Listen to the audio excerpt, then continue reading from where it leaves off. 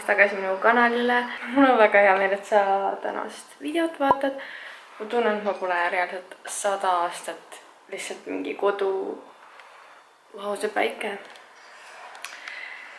ühesõnaga, ma pole sada aastat niimoodi kodus mingit vlogi alustanud ega midagi, nii et it feels weird. täna ongi siis selline päev, et eh, mul ei ole hetkel veel nagu mingeid kindlaid plaane, aga ma olen mõelnud, mida ma teha tahaks ja kaks viimast päeva ma olin lihtsalt hommikust õhtuni arvutis, tegelesin, üks päev tegelesin selle videoga, mis võttis liiga kaua aega ja eile põhimõtteliselt terve päev tegelesin siis meie e-poega.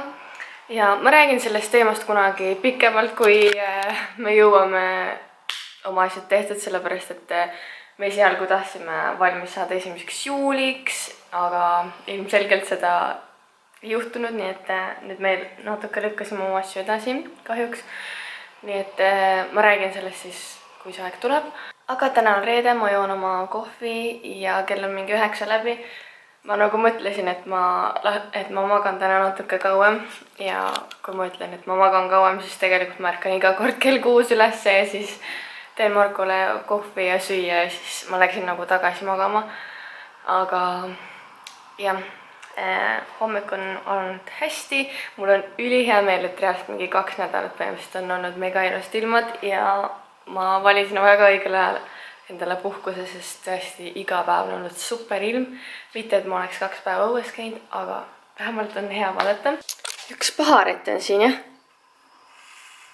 tal tuli, tal on tekkinud viimaste päevade jooksul väga nõme harjumus, et ta lihtsalt ronib siit teleka alt sinna teleka taha ja ma kogu aeg nagu üritan teda kinni võtta ja nagu selgeks teha talle, et ta ei tohi siia tulla, sest nagu te näete, siin on lihtsalt mingi juhtmete pesa ja tal on väga teravad hambad, nii et äh, see ei ole hea. kas sa tuled nüüd välja sealt või? või mis sa teed? sa tead, et sa ei tohi olla seal ju? Viisli ei no kui siit annab teda lihtsalt kätte saada ka, ta on lihtsalt nii kaugel. ei ulatagi sinna. tule välja nüüd. okei okay,, me tegeleme sinuga kohe ja alustame tänast vlogi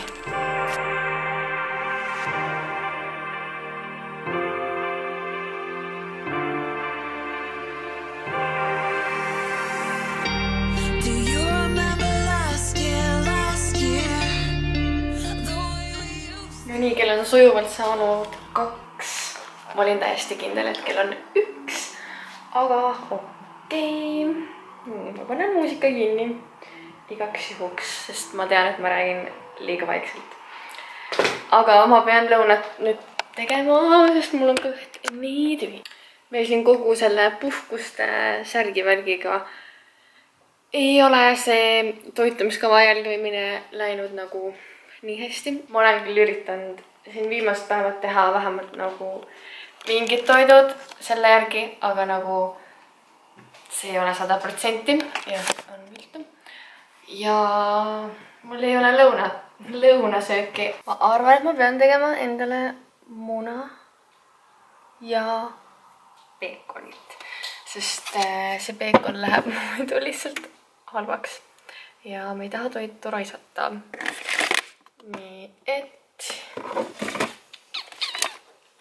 täiesti tavaline peekon ja täiesti tavalised munad, vau.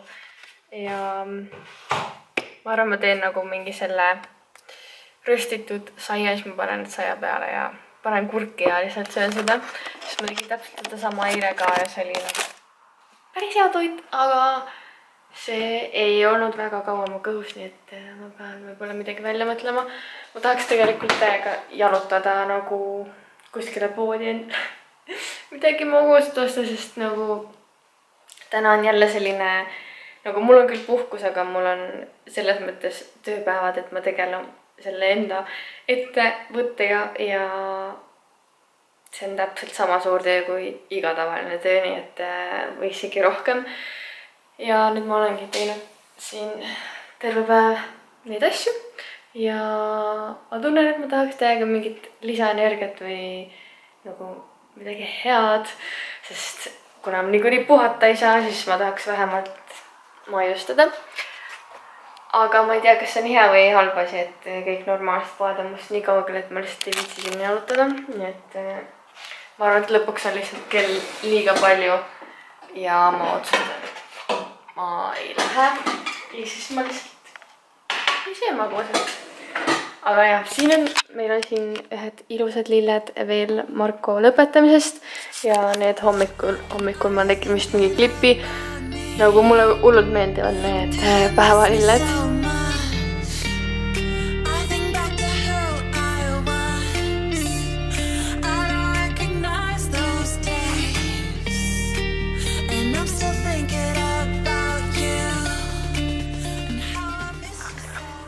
väga tagasihoidlik ja reaalselt mingi viie minuti lõuna, aga kuna mul on banaanid, mis hakkavad juba otsi andma, siis ma mõtlesin, ma teen hoopis banaanileiba. ja siis see on selline hea väike snäkk, mis on nagu kodus olemas. tegutsen, ma arvan, mingi kella neljani vähemalt oma e-poe asjaga. ja siis hakkan ennast sättima ja mõtlesin, ma tahaks täna lihtsalt lokke teha, kuna ma ei ole nii ammu seda lokki, neid lokkitange kasutanud. Aga jah, nagu see kass on hullult, me ei saa enam kassiga üldse koos süüa ega midagi teha, sest ta on nagu muutunud selliseks, et ta hüppab igale poole. kõik lõhnad on nagu, trigerivad teda ja lihtsalt, ma pidin täna lihtsalt ehitama blokaadi siia, sellepärast et ta, ta lihtsalt ei andnud mulle rahu.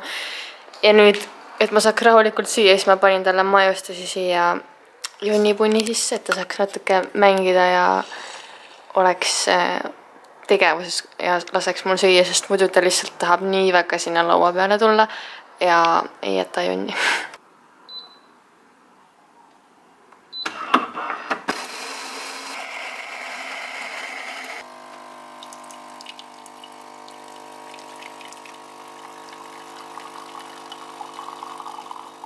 okei okay,, sõbrad, kell on saanud neli läbi, ma lõpetasin kell neli oma, ma lõpetasin kell neli oma nii-öelda tööpäeva osa ja nüüd ma hakkan seda banaanileiba tegema.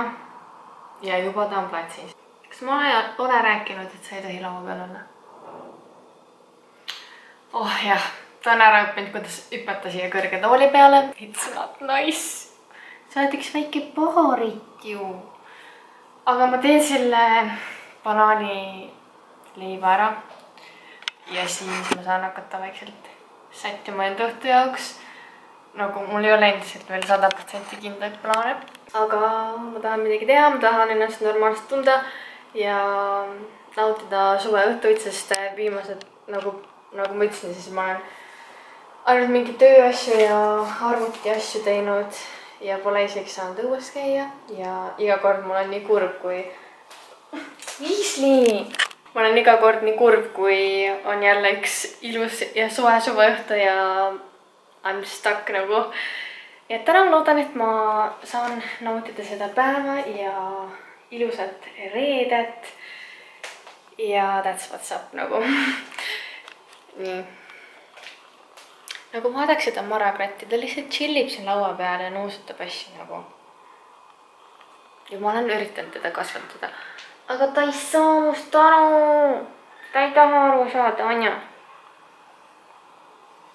muideks, keda kassi tegemised huvitavad, siis me käisime temaga arsti juures eelmine nädal või? talle tehti vereanalüüs ja röntgen ja tuli välja, et tal on väikene põletik ja nüüd ta on meil igasuguste ravimite peal, nii et jah, loodetavasti varsti saame ta silmad korda.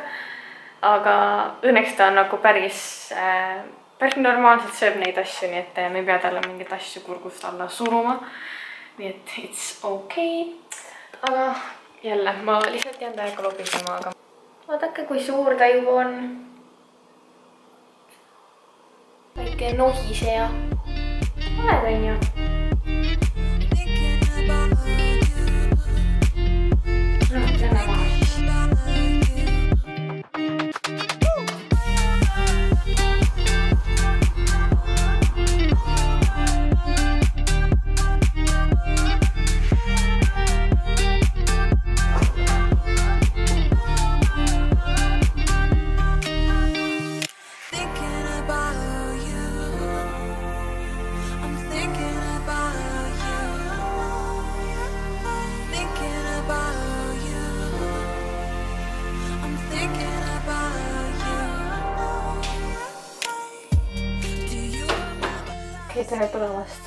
peeglisse.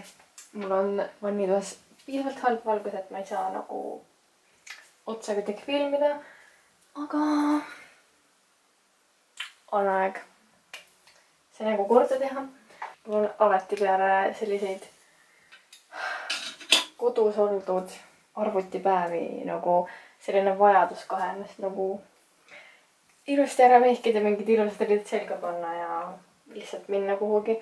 nii et see on tänane plaan. loodan, et te väga ei kuule seda muusikat. aga kõigepealt ma pesen oma näo ära. sama, mida ma kasutan hommikul ja õhtul, aga lihtsalt mu nägu on väga oily ja isegi kui ma olen terve päev lihtsalt kodus, siis see õhtuks on nagu mingi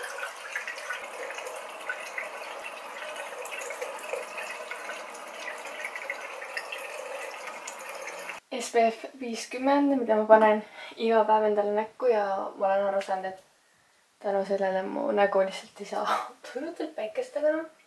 vähemalt me kaitseme seda enneaegse vananemise eest, eks ole. minu suvelemmik nagu mitte siis jumestuskreem, aga lihtsalt selline kerge jumestustoode on olnud see lumene jutiseerum, ma vist kunagi talvel ka mingis videos rääkisin sellest. aga põhimõtteliselt jah, see on selline nagu seerum, mis annab natuke jumet ja kuigi see ei ole mingi erilise katvusega, siis ta natuke annab ikkagi jumet, nagu ma ütlesin. ja mulle meeldib see nagu kerge olek sellel. nii et ma suvel enamasti olen nagu seda kasutanud. ja mõned harvad, harvad juhud ma olen kandnud ka nagu ennast kreemi aga see on sihuke väga hea kerge suvine asi, aga ma ajangi selle svammiga laiali. nagu te näete, siis mul on mingid punnid näos, mis ei taha lihtsalt mitte kuhugi kaduda ja ma olen leppinud sellega. aga jah, see ei ole nagu full coverage mingi asi, nii et, et imperfection'id lihtsalt paistavad siit läbi, aga is okei okay.. nii.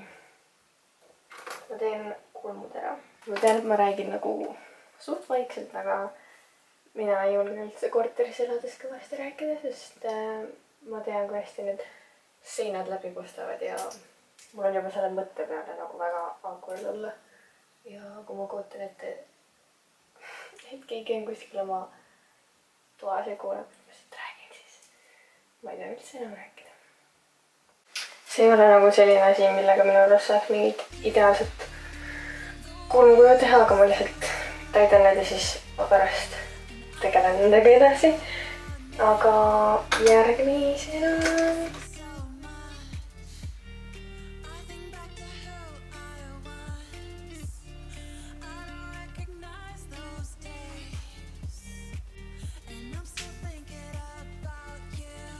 tegime silmadele ka nagu mingi väga basic meigi. aga ilma lipsmatušita me ei saa, nii et ähm, vaadake nüüd seda magic ut minu lipsmed enne ja pärast lipsmatust. panen lauavärvi veits siia alla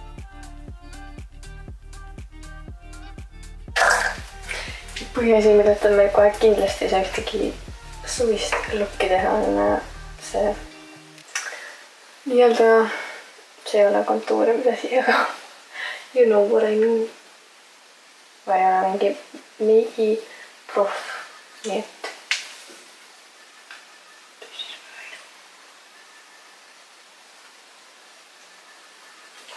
mul läheb nagu kõik muusika, kõik asjad kinni ja kuulen nii hästi nagu naabrite ja see on väga häiriv.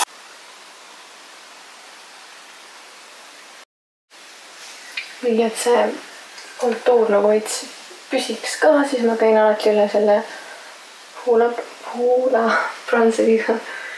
ja, jah, nii on. ma olen viimasel ajal suht nagu kõrgele hakanud seda bronzerit panema. huulepliiatsi ma kasutan oma igavest lemmikut Milani Color Statement ja see on Tony's All Natural. ja see on lihtsalt best ja ma ei kasuta ühtegi muud huulepliiatsit. nii, ma jätan huuled korraks pooleli ja panen highlighteri ära ja vahepeal ma ei kasutanud üldse highlighterit, aga nüüd suvel mulle kuidagi meeldib seda aeg-ajalt ikka uuesti kasutada. ja nina peale ja huulte juurde ma panen seda sest see on hästi sihuke intensiivne. ma olen reaalselt see inimene, kes kasutab samu meigitooteid kümme aastat järjest. Nii, mõtlesin, et täna proovin huultele panna sihukest asja. see on siis Nixi Powder Puff huuleasi. ma tavaliselt kogu aeg kasutan ühte huulepulka nagu heledamas toonis, aga ma ei tea, ma pole nii ammu seda kasutanud tegelikult võiks vahepeal midagi muud proovida.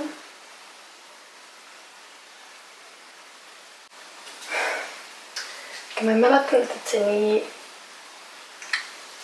on ja nagu sihuke väga tume. tegelikult mu igapäevane huulepulk on siis see Essence'i sihuke hästi hele värv.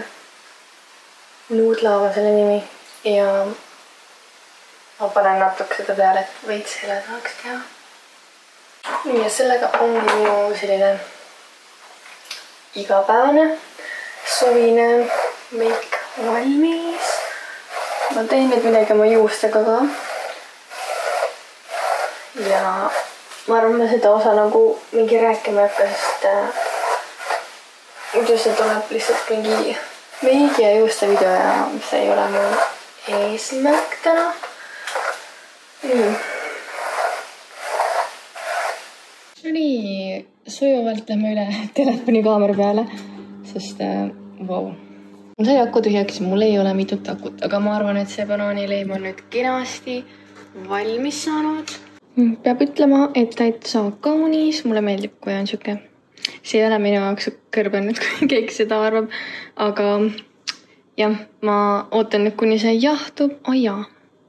ja siis nii kaua tegelen oma juustega ja üritan endale mingit plaani mõelda õhtuks ma olen suht kindel, et mu kaamera ei lähe hetkel käima veel, nii et ähm, me jätkame telefoniga.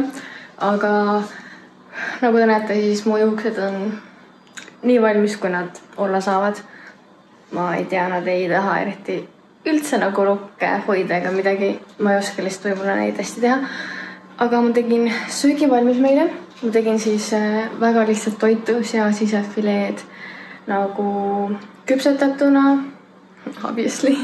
ja siis äh, väga värsket salatit, nii et äh, ma arvan, et ma söön ise juba praegu ära, sellepärast et ma ei tea, mis kell Marko koju tuleb ja ma tahan õue minna äh,. ma lähen siis oma õega kuskile ja ma pidin välja mõtlema, kuhu me lähme, nii et äh, mul on ülesanne. aga me peame proovima seda banaanileiba, sest ma ei ole seda veel proovinud. ja see on siin muideks ma ei saa aru, kuidas inimesed saavad telefonidega filmida oma videosid, sest minu kaamera teeb nagu, suumib nii lähedale, et ma ei taha ennast nagu kogu aeg nii lähedalt vaadata. Aga praegu me peame sellega leppima, sest meil ei ole teist varianti, aga proovime seda banaanileiba.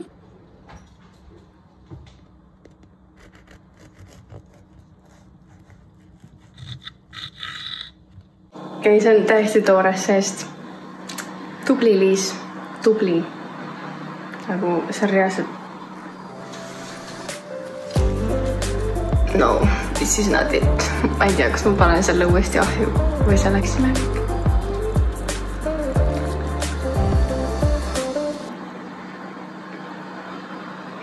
nagu maitse poolest väga hea, aga see on liiga toores minu maitse jaoks, nii et ma ei tea, ma proovin selle ahju tagasi panna, ma ei usu, et sellest midagi välja tuleb, aga pole hullu. ja ma söön õhtust, ma arvan, et ma teiega räägin siis, kui ma hakkan kodust ära minema. no nii, kell on saanud mingi seitse läbi, ma otsustasin riideid vahetada ja soengut sest äh, ma juba tundsin, et need juuksed lahti on mul ebamugav olla. ja tegin lihtsalt hopuse saba ja panin täiesti suht tavalise pluusi ja mustad püksid ja oma igavad tennised, aga vähemalt mul on mugav ja mõnus olla, nii et ei pea selle pärast põdema, aga me lähme siis eh, Liinaga vaatame kõigepealt Telliskivisse. vaatame, kui hull seis seal on, sest reede õhtu Telliskivis ei kõla üldse nagu koht, kuhu ma tahaks minna, aga aga vähemalt see ei ole nagu mega kaugel, nii et äh, lähme vaatame. ja mis sina siin teed? see ei ole ju sinu koht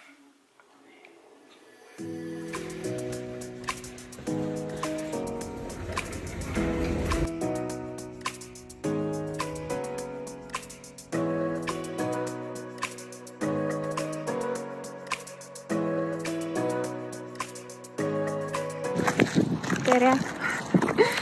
okei okay,, me oleme nüüd ja minu ainuke külaline, kellega ma julgen vlog, vlogida uh,. kell on meil saanud pool kümme juba ja me oleme siin Telliskivis, nagu te näete, aga seal oli nii palju rahvast, et me vist ei.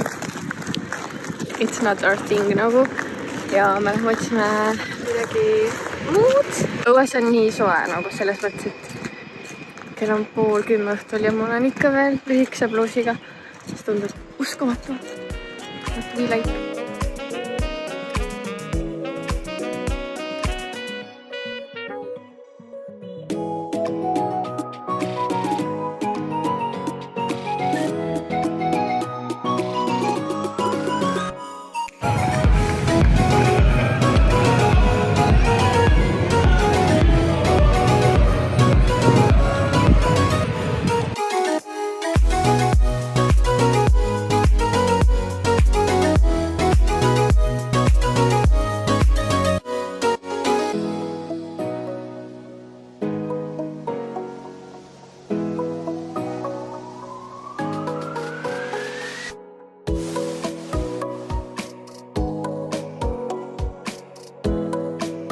hommikust, täna on järgmine päev. jõudsime kell kaks koju, siis me jäime linna juures Kardashiani vaatama, see oli liiga põnev, et ära tulla.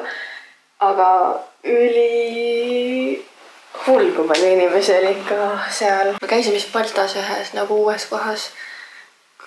võtsime ühed kokteilid, mis olid, reaalselt mu kokteil oli vist nii väike. ja see maksis seitse eurot.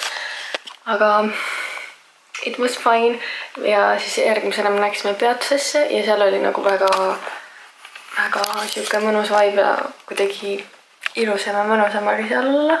siis me läksime lõpuks nende elektritõuksidega õe juurde. ja siis täpselt sellel ajal, kui me jõudsime, hakkas, hakkasidki Kardashianid, siis ma vaatasin selle ära ja tulin koju. ja täna on siis laupäev, me ärkasime mingi kell kümme ja ma tegin süüa. ja nüüd, nagu te näete, siis ma olen valmis ja me võib-olla lähme täna kuskile randa, ma pean muidugi läpaka kaasa võtma, sest mul on vaja asjadega tegeleda, ma arvan. ja tahaks täiega nagu uusi bikiinos, sest mul ei ole üldse mingeid selliseid, mida ma tegelikult nagu tahaks kanda, nii et vaatame, kas me äkki käime kuskilt poest läbi. kell on tegelikult suht mingi kaksteist juba, nii et äh, päev on täiega alanud. aga tundub, et tuleb üks järjekordne ilus nädalavahetus, nii et I m happy.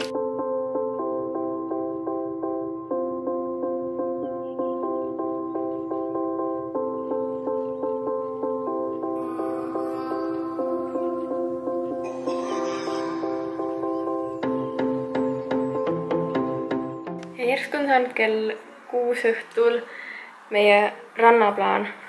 täna läbi ei läinud, sellepärast et ma nagu ma ütlesin, siis me läksimegi mulle bikiini otsima Ülemistesse ja ma mõtlesin, ma leian mingi poole tunniga kiirelt mingid bikiinid ja lähme nagu kohe randa.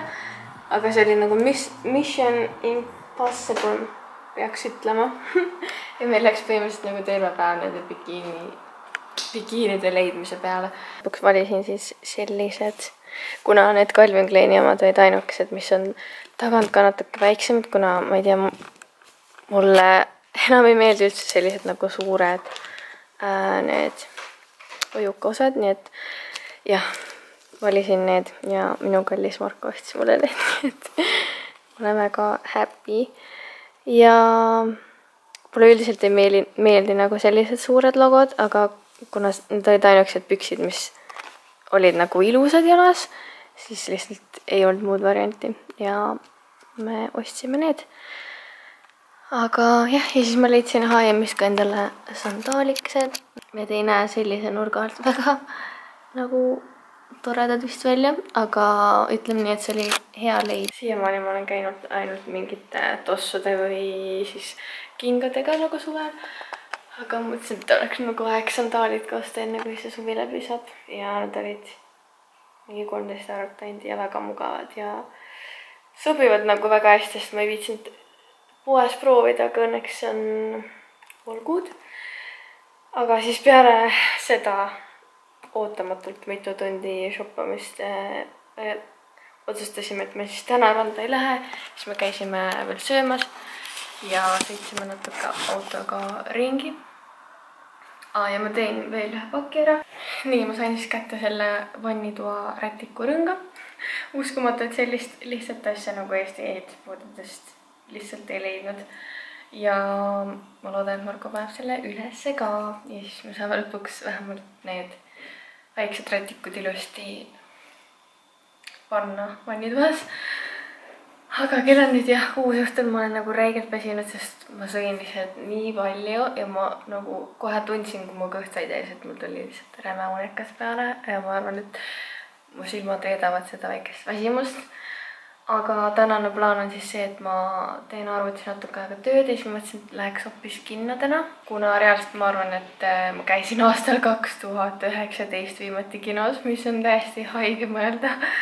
aga ma tahaks täiega minna Kiireid ja vihaseid vaatama, nii et ma arvan, et me täna lähme teeme hoopis sellise kinoõhtu ja lähme äkki homme normaalsel ajal randa, nüüd mul on bikiinid, mul on sandaalid ja nagu I m ready to go.